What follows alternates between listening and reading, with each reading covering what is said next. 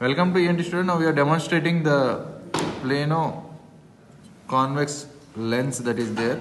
So in front of the Bull's eye lamp it is there like this and behind that will be the light like this. Light source will be coming like this. Because it's a plano convex lens it converges the light and whatever it converges the mirror will be there here and it will be reflecting the light onto the patient. This is from the Bull's eye lamp side and this is from the uh, doctor side and this is once again the light is on the left side of the patient so the patient will be seen in this angle. Thank you very much for watching this plano convex lens in ENT student.